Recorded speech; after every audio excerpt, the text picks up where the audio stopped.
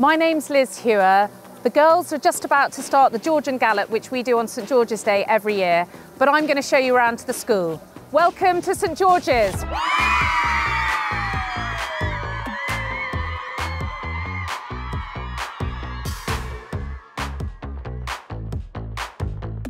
St George's is a school of around 270 girls aged 11 to 18. We have a mixture of day girls and boarders from countries across the world. I love the fact here that my study is right in the heart of the school here on our south lawn, which is what I'm standing on.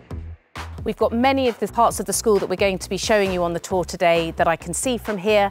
The library and our science block, our boarding house Natchwell we're visiting later on, and behind me down to our sports pitches. And we're going to start off by going to our swimming pool. So do come along.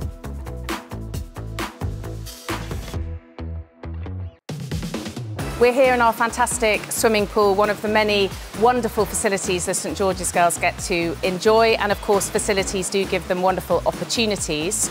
This might be those who are particularly strong in swimming, our performance swimmers, lots of invitational galas and busy swim squad happening as well, but also participation, well-being, keeping fit. The boarders have lots of fun in here as well, and indeed I was here swimming myself on Sunday morning. We also share this facility with our local community, um, and probably the noisiest event of the year is our house swimming gala, which we hold once a year.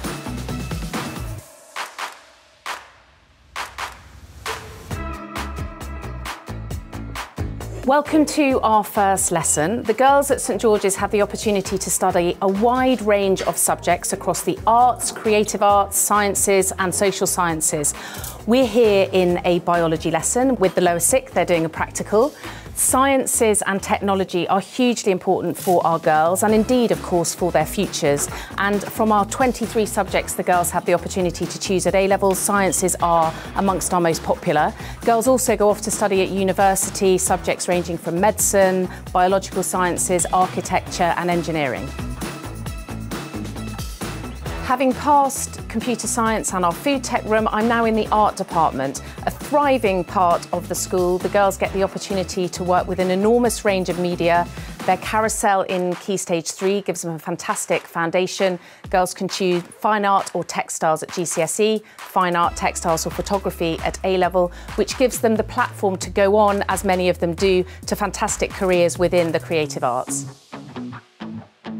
Food is a really important part of life at St George's.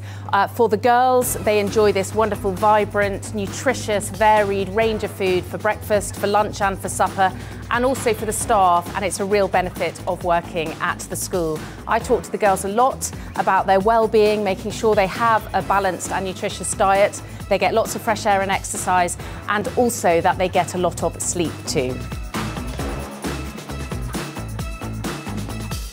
We are here in our beautiful library. It's a lovely, airy space that the girls enjoy using very much at the centre of the school. They love uh, reading on the beanbags, working independently, and also we have uh, a class of girls in here at the moment.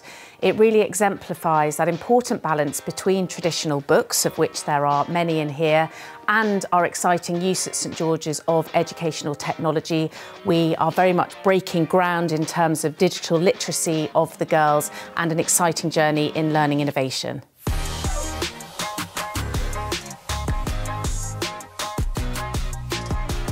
What goes on outside the classroom is really important at St George's. The girls have the opportunity to do a wide range of co-curricular activities across all areas of school life as well as our new music technology room. We're really excited with the opening of our new dance studio, so do come and have a look.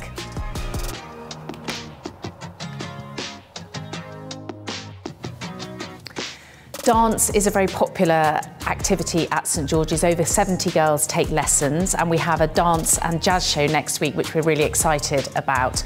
It's a really good example of the way in which the girls generate really positive and meaningful relationships across the year groups, authentic ways in which they interact with each other through that busy co-curricular programme which is something really quite special to St George's.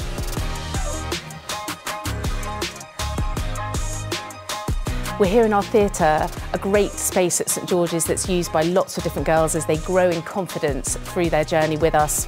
Uh, it might be all of our youngest girls singing in the Year 7 choir. We had open mic night last night and behind me GCSE drama rehearsals going on at the moment.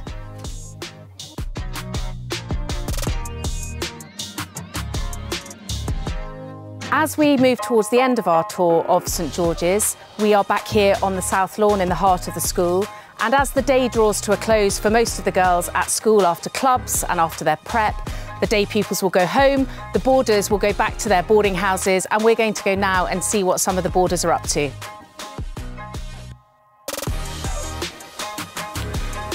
Boarding is an incredibly important part of St George's. We have a busy and lively boarding community with full boarders, weekly boarders, flexi boarders, and it's increasingly popular that girls board as they move up through the school.